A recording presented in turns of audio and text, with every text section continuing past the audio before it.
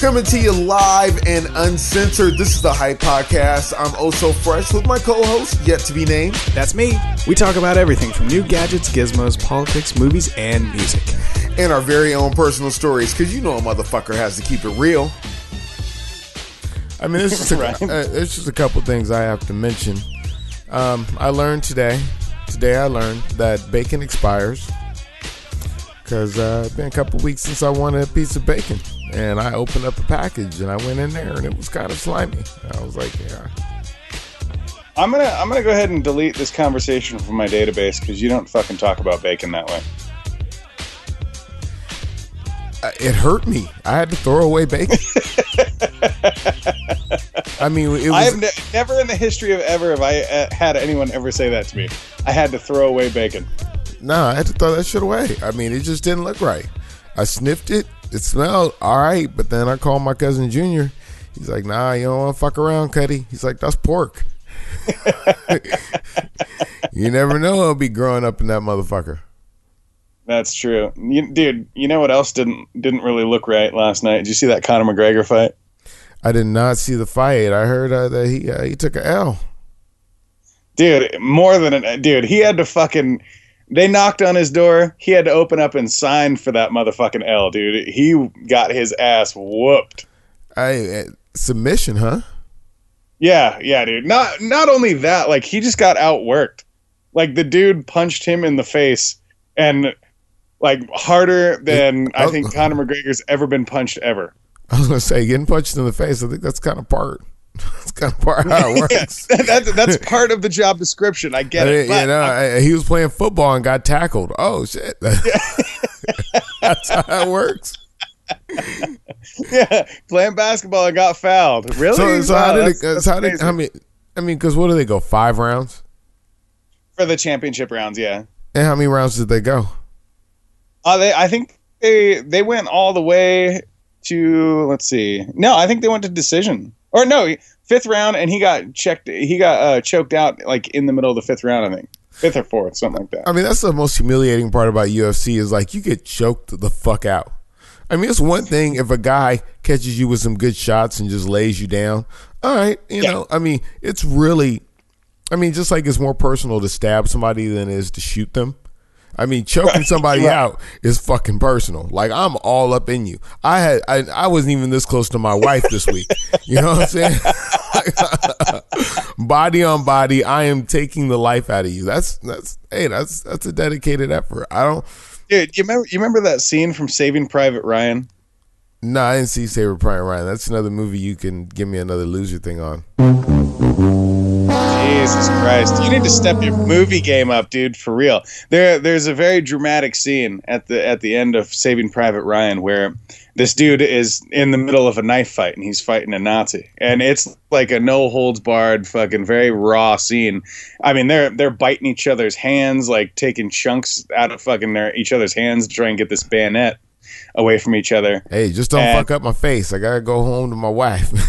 right right and so so this german rolls over and he's got the knife and using gravity and literally just leans his body weight on this dude and starts fucking whispering to him. Like he's like shh just just go to sleep. Just go to sleep. And the fucking dude is trying to negotiate with him. He's like we could just we could just talk about this. And like as he's getting stabbed it's just it's brutal dude. That's what it was last night. Like that slow intimate like i'm surprised he wasn't whispering in his ear like where are you going to eat after this? Nah, he was probably like, "Yeah, you you better go make me a sandwich after this, bitch." after, after you recover from getting choked the fuck out, I needed you to get your ass up and go make me a fucking sandwich. And don't fuck around with the and don't fuck around be stingy with the mayo. Shit, I just laid you out. That's one of the other things I don't get too is like why why in that situation, unless unless you're only about the money, would people tap out? Like motherfucker, put me to sleep. Like go out go out like a boss. Don't go out like a pussy. Like oh oh let me let me fucking tap out real quick. You know what? I feel like this because I, I I'm sure you've done your fair share of MMA because you've done everything. Fucking Harrison Ford, Raider of the Lost art forms, but I'm sure there's a certain Lost Han Solo. I'm sure there's a, a breaking point where you're like, this this shit really hurts. I'm really getting choked the fuck out. I really, I mean, how often do you get choked the fuck out? That, no, that's very true. But when you're Like, paid, like I, he is limiting the the air going into my body. I am like I'm really stressed out right now. You know when you have to go out, you know when you're having a bad day at work and you gotta go outside and take a break. Um, that's a bad day at work. Hey man, I mean that's you, you, instead of having a, taking a mental day off, you're taking a mental fucking moment. Like I need to save my life because there's no guarantee. there is no guarantee that your ass will wake up from a chokehold. that, dude, there's, there really isn't. I mean, but the fact is, you're you're getting like like fucking pro athletes, dude. You're getting paid cash money to fucking choke somebody out, dude. Choke that motherfucker out. I don't give a shit if he taps. You don't you don't quit fucking choking him until the goddamn ref gets over there. Hell yeah, because you know what? I, I'm not a ultimate fighting champion, and if I was in the ring, with Con- if if I was in the ring with with Conor McGregor, I'd be scared as fucking. If I got a chokehold on him, I'd kill him. Yeah. Because like, motherfucker, you ain't getting, you ain't getting the fuck back up by that off chance, that off chance that By they don't stop the chance. fight. slipped on a banana peel. There's oil in the fucking ring. I don't know what the fuck happened, but by the chance that I can start choking that motherfucker out, I'm killing him. Fuck that. Yeah. Hey, you could you could write that down off this fucking podcast, man. I don't care if you're listening, NSA. Fuck that. Oh, dude. The other the other thing that's killed me about this week. Have you been following this Supreme Court shit? Okay, the Supreme Court shit. All right. The Brett the Brett Kavanaugh. No, hold on, hold on. I, I'm going somewhere with this. So Yeah, uh, yeah, that's it, why yeah? you want the camera on because you see me just look away like, yeah, this shit. This fucking Yeah. shit. No, no, no. One of the dudes, one of the dudes that won one of the fights last night was like, "Yeah, shout out to my homie Brett Kavanaugh," and the entire crowd almost whooped his ass. That's, you know, let, let me tell you a little bit fr- about my my friend Brett Kavanaugh, and I, I, my homie, my compadre. I, I'll, t- I'll tell you, I'll tell you a couple things. Uh, uh, my my reaction to the whole situation. I got a couple different points on it. Number one, and the biggest one, biggest sticking point. How do motherfuckers just show up out the woodwork and say you did some shit? Like they fuck- don't. like fucking for real. You just like you know what I'm saying like like like you're going for a job and somebody said, "Hey, you know what? He I, he's he's driven under the legal limit." I mean, he's driven over he's driven a car over the legal limit many times. You know, I mean, somebody Right. could just come out and say some shit like that about you. But nah, when it comes in this Me Too era, when it comes to yeah, he raped me in 1982, like you know what? Would I mean he he could have already served his sentence by now. I mean, goddamn. Really, No, I think I think thing. he, he was like 17. He probably could have got the shit fucking expunged from his record. I mean, honest to God, truth. I mean, really, for her to come out and be like, yeah, well, women, and I was talking to somebody, she's like, women shouldn't be afraid to tell. Well, well, motherfucker, a crime was fucking committed towards you, and you don't want to say shit. Then, hey, how you gonna come out later? Number Dude. two, he's Did a- you listen to this guy's fucking testimony? and number two, he's a fucking idiot. I mean, uh, uh, above, above and beyond. Uh, uh, that is my second point. That you know what, you know what, me and him couldn't have been in on that fucking rape because he'd have snitched. Yeah. no, here's, here's my he, uh, he, he, my he. If this- if this whole thing was a bok, right? Like, say say this lady's not even real. They pulled her off the street. She's a fucking wannabe actress. oh, he knows though. Just to, no, just to see what this fucking guy would do under pressure. This motherfucker failed miserably. The the way he answered his questions, the way he carried himself, the whole thing. Like, even if this entire situation is completely untrue, you get to see who this guy really is. And he's a I- piece of shit. I don't want him. He's a piece I, of shit. I don't want I'm him. just gonna say that. I do not want him judging a pie eating contest. I do not. But, then- but let me no, let me tell you.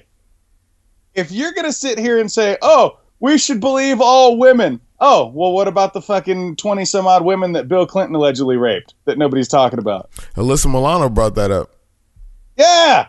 Like what the fuck? Yeah, yeah, that's where I heard it. I'm like, dude, really? Like we should believe all fucking women without due process, and then all these people making T-shirts and wearing banners that say, "Just remember, it's it's a mother and a daughter and a, and a friend." Like, bitch, just remember, it could be your dad or your brother or your son that gets accused of that shit. You don't want due process? That's I mean that was my biggest issue. There was no due process to the whole thing. You know, I, I live in a country where I, I was told that I am innocent until proven guilty, and some motherfucker just can't run up at one of the biggest moments of my life and just say some shit that is unfounded. You know what I'm saying? If if there was proof, like I say, you know what the motherfucker caught a case on it, even if it got expunged, if he caught a case on it, all right, that's a that's a fucking problem. But you know, I mean, you, you hear a liberal lady go, "Oh, well, women are afraid." You know what? A woman is not afraid to throw your ass under the bus when it is fucking time. When it is No fucking shit. when it is fucking time. The only thing women are afraid to tell about is rape. But other than that, a woman will throw you under the bus in a hot goddamn minute. That is that must be the only thing they want to stay quiet about because yeah, a woman catches you fucking up. Oh, she's gonna fucking shit on you. She's gonna tell on you, man. Man, you you, you fucking move a curling iron and you can have five zero at the fucking house. And number Well, a- and- my third point, the the questions they were asking him were fucking stupid. Have you ever blacked out? How much beer do you drink? Blah blah blah. What the fuck does this have to do with anything? Are you talking? Are we talking about when I was in when I was in a high school? Did I ever black out? I mean, I didn't drink back then, but I'm just saying, like you know, if you if for buddies I grew up with, yeah, all of them. There was all sorts of crazy shit. It's drugs. You're experimenting. You're young. You don't fucking know. Like that's those dudes black out blacked out then, so they don't black out now. right? No shit. And I I gotta say, just from like a shallow materialistic standpoint, hopefully she was way hotter when she was seventeen. Man, Because they could not they could not have picked like the worst the worst the worst fucking helpless from trailer park looking ass their entire life. yeah, I, yeah, because I, I mean, before, uh, I don't know. He, he was young. He was. I'm sure she looked different. She, I'm sure she looked. I'm sure she looked different. She probably looks that way from the trauma from when she was seventeen, right? That's what they'll say. You know, uh, another thing I got a problem with, and I'm glad nobody listens to this goddamn show because we get hate mail, is she's at a better station in life than I am. How do I feel sorry for her? Dude, that's that's it. That's right fucking it right there. like, I mean, really? She went on. I mean, I didn't get raped. I didn't finish college. I mean, shit. if that's what fucking motivates you to go get it, fuck. I mean, sometimes yeah, it, send some- one over. sometimes it takes a fucking traumatizing moment. I mean, look at the Incredible Hulk. Like hella bad shit got happened to him before he actually kick it into gear. Maybe that was just your fault. Okay. this motherfucker said, he said, "Look at the Incredible Hulk."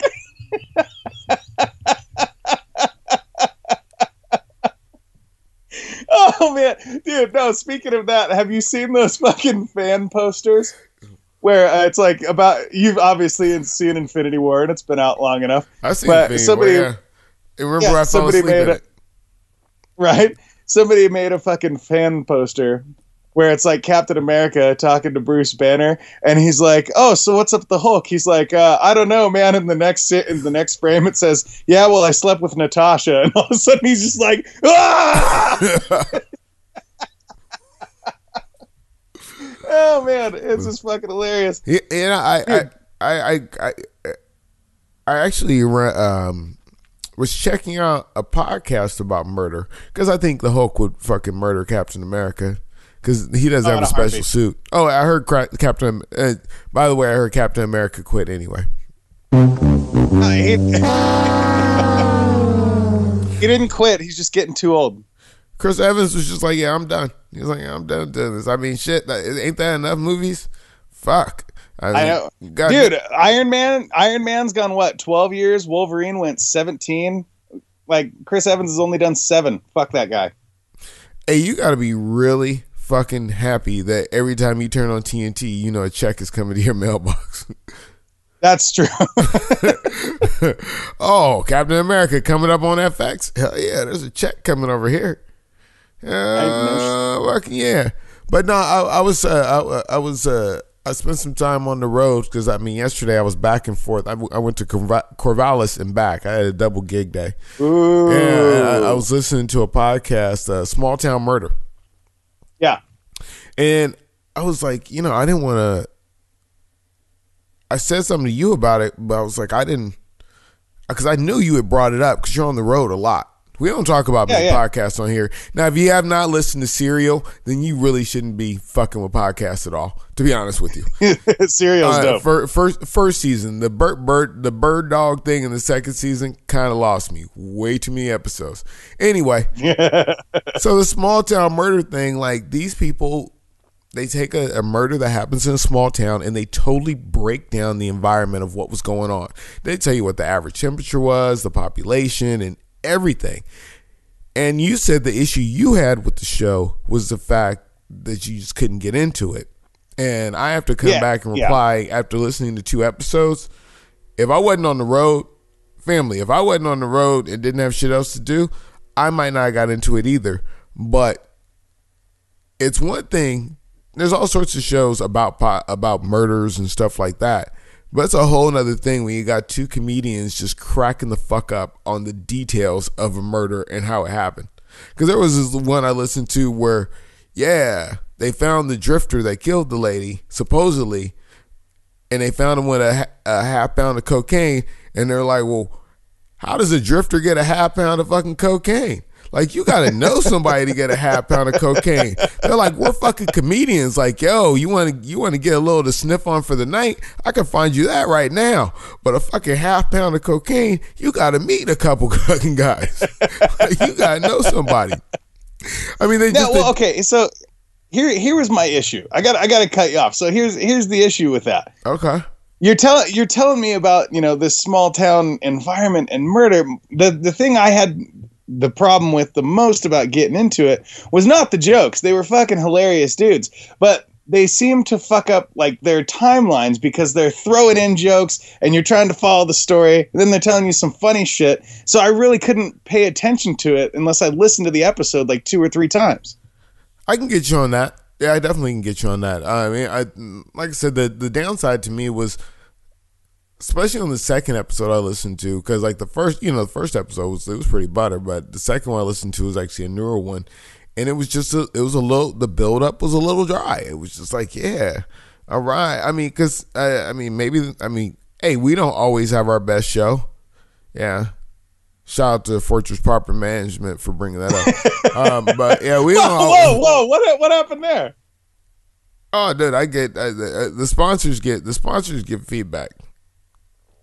And and how come And- I don't hear this and- until we're live on the show? and because some shows some shows are better than others. I mean, so, I mean, most of the time it's like, yeah, that was great, but sometimes it'd be like, man, like, you get it and, and I'll look back and I'm like, yeah, I guess I can see that, or I'll be like, nah, motherfuckers, you just didn't get it. You didn't see my vision, even though. Let me tell you something uh, about if you're if you're an artist aspiring to do anything in life, and you say they just didn't get my vision, that's because your vision sucks. I mean, to be honest with you, like if you like Either that you- or you didn't fucking do a proper PowerPoint presentation, you, bitch. you know, if you're saying I have this great thing, but nobody can see it, it's because you're you're not you're not you're not selling it right. You're not expressing it right.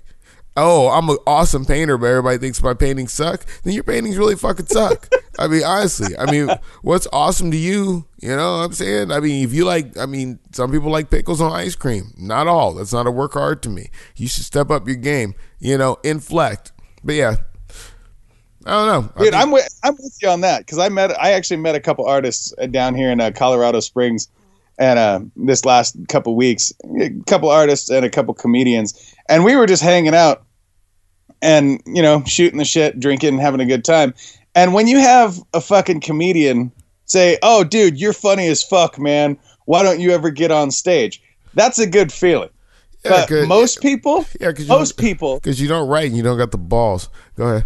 most people are going to go, well, yeah, I should just go jump on stage. No, that's exactly it. You have to have the self awareness to sit down, write some shit, work it out, and then go on stage. You can't just be like, oh, yeah, well, this is my vision. People are going to be like, uh, I don't know what the fuck you're talking about. Same thing when it comes to DJing because I, I worked with a rookie last night, and that motherfucker, you know, he really until and it, I will tell you the magnitude of playing next to me. You don't ever want to play next to me. I don't care how good you are, how new you are, or whatever. I I'm I'm I'm gonna own my shit. And oh yeah, you want Shots fired. Hey, hey, hey, Shots hey, fired. hey, you want to? Hey, man, I didn't, I didn't shut down some, I didn't, sh- I didn't ran with and shut down some greats. You just tell me what the terrain is like. Don't, don't let me pick the terrain because I'm shitty at that. Nah, if you just let me play loose, I'll, I'll sound like shit. But you go on for an hour and I gotta come after you. Oh man, I'm gonna mop up the fucking floor. I'm gonna think of every song you didn't play, you fucking dummy. So uh, I mean, you know, I'm to think of everything you didn't play, motherfucker. that's the way you're supposed to do it, right? I mean, nah, but I, I mean, shout out to my man Colin. He's trying. He's getting in the game. But last night we we went hour for hour, and you know, I mean, he, I think that was the first time in his short DJ career that he was like, "Oh, like this is hard. Yeah, this is hard." oh, You made him rethink his whole life, didn't you? you make it look easy. Yeah, I make it look easy, but if you're standing next to me, hey man, you know what I'm saying? Family, don't don't be off in the Bermuda Triangle. If if you ain't playing the right shit, you gotta fucking right the ship. I was like, yo, homeboy, you should go home and look at your playlist and, th- and look at what songs fucking sucked for you. Dude, I mean, there was one. I walk out as soon as I walk out. I walk out the first time. I got a great dance floor going. Hey, shout out Colin if you're listening, but I'm a clown right here. I had a great dance floor going. I think I was coming out like some Mary J. Blige. It, it was something. It was something like just kind of kicking. Man, I go outside. I'm taking the first puff of my cigarette. The beat hits and he clears my floor, man. You think I was like, did you have gas? I mean, what the fuck happened? Like motherfuckers ran off. Like, I mean, it was. I mean, no disrespect, but it was like there was a fucking mass shooting going on. Motherfuckers was running off that dance floor. Like we are guy, fucking He said there gone. like a mass shooting going on. I was like, wow. I say, you know, I'm just gonna kick back. Maybe he can recover. Couldn't quite recover. And, uh, Uh, we were supposed to go what's his hour. DJ for- name? What? What is his DJ name? DJ Freeze him. DJ Freezem. If you want to rebuke these allegations against you, like my man Brett Kavanaugh over here, you can hit us up 503-776-0167. That is the hype line. And uh, tell me Hey, tell hey, us what no, really no, happened. actually, you know, for me to make allegations, I have more credibility than that bitch because I am an expert on DJing. Hopefully, you're not an expert on being raped, but I, I am an expert on DJing, so I know what I'm talking about. And I was not drunk either. Neither of us were drunk. No, we were both sober when I went in and just had to smash a dude. Pause. you just had to smash, and grab your loot, and get the fuck out, huh? Yeah, I said I grabbed my loot and got the fuck out, man. No, and then I uh, got to went to Muchos Gracias and had a taco salad. Uh, that reminds me, I got to take the trash oh, out. 'cause- you're eating, you're eating healthy and yeah, shit. yeah. Hell yeah, man! I got I got to take the I got to remember to take the trash out before I go to work because you cannot leave Muchos Gracias in your trash, especially if it got some Dude. sour cream on it. Not at all, sir. No, Not no. I, I don't know. Hey, muchos gracias. Do you guys get the the almost expired sour cream? Because it seems like by the morning, it seems like you know by the morning that shit is hella suspect. Like you go to heat, Dude. you go to heat that shit up, and you're like, hold on, this this sour cream looks suspect. But I am that hu- shit's suspect when you put it in your body. man, but I I am hungover, so I guess I'll just make it work. Hold up. so Wait. So, before we get out of here, I got one challenge to present to you. And uh, you tell me what it is. We'll make it happen. And we'll come back next week and tell everybody if it was fucking shitty or if it lives up to the hype. What movie are we going to see this week in theaters? Ready, go. I don't know. You should have. Uh, this is why you're supposed to put together a fucking prep sheet. Yeah. I have a prep sheet, but it's on my end. And I just now Yeah, thought yeah, of this. I mean, it's you're, not even. you're, you're, I mean, I think you're a great friend, but I think you're a shitty producer. What movie do you want to see? The Predator. Uh, I'm looking. There's a whole No, I want to see the goddamn Predator. What the fuck do I look like? Oh, like I, I, I, I'm going to see the Predator, and I'm going to see Night School. Yeah. Dude, you know what? I've been, you know, I I go to the movies, and you know, like when there's a shitty preview for something like Prep School that just keeps the fuck coming on. yeah. Like, uh, like uh, every time I go to the fucking movies, this shit. I mean, you know, I know it's coming. I mean, Kevin Hart's gonna be fucking Kevin Hart. Um, I don't know what comes out this week. I don't know. It can, it can come out. It could have come out like the past month, past few months. Doesn't matter. I mean, really, it doesn't look like there's much of shit out. So maybe I'll just go see Venom. Venom. It is. All right. I, we're th- gonna you know what? I think I think Venom. motherfuckers go see superhero movies just because there's just not. I mean, I look at the I look at the field. There's not much. Oh, oh. They're, they're they're trying to steady keep a fucking superhero movie coming out every three months, bro. Like a new iPhone. Yeah, yeah, because uh, Anna Anna Kendrick's in that. Yeah, well, I mean that's that's that's a good reason to watch. that, that's reason enough, baby. I mean, yeah, I mean that is that is the most bangable skinny broad I've ever seen. Hell yeah. Oh, and just so you know, uh, Johnny C will be coming to town here in the near future, so we're gonna try and link up with him, get him live on the show, so you two can actually officially meet. See for And, uh, Johnny- chlamydia. Yeah. and then Johnny C can uh, ramble on and never stop talking to your face instead on the phone. You know, next time Johnny C comes on the show, I think um we'll just give him his own episode. Yeah, I'm with you on that. Well, he yeah. wouldn't even know. He wouldn't even know, bro. No, we would, we would just we I mean we just let him start talking in the middle of an episode, cut that out, and then just go ahead and trim our episode down to a half hour. Then you get an extra forty five minutes. You know, you I'm know what's funny? Just I, Johnny C. I was listening to uh, you know, Michael Rapaport is. Yeah. So he has a paywall. Like he's like, yo, I did this dope shit on the last episode, and I noticed this episode skipped a number on my podcast thing. He's like, yeah, for my premium subscribers. I was like, who the fuck would pay to listen to fucking Michael Rapaport? No shit. Right? Now I can see what's his name, uh, like not Adam Carolla, what's the other like Joe Rogan. Joe Rogan, he actually he guys he does actually does some shit. Not a fan, but you know I respect his game. But Michael Rapaport, nah. I, I mean, you know what? I live in Vancouver, Washington. I know enough wiggers. I'm cool. Hold up. Wait. All right, on we that note, oh, so you already know, so it's about that time to go. This is the Hype Podcast. uh, I am DJ Oso Fresh. And I'm the host with no name, and we're kicking it with you every single Sunday right here on the Hype. And don't forget, check out Fortress Property Management. It's time to go. One more time. Fortress Property, M- Fortress Property, MG. Don't interrupt me, motherfucker. Hit them up, 503 8519 all your property management needs. And don't forget to check out all the Hype Podcast episodes on iTunes, LinkedIn, Stitcher, all the podcasts, you know, apps, whatever the fuck they are. Rate us five. If you want to hear something on the show, please hit us up 503 776 0167. Tell us what you're thinking, and we'll talk about it. This is the Hype Podcast. It's time to go. This is the podcast after the podcast, and yeah, um, there's a few things we didn't do this episode. It wasn't a lot of sound effects.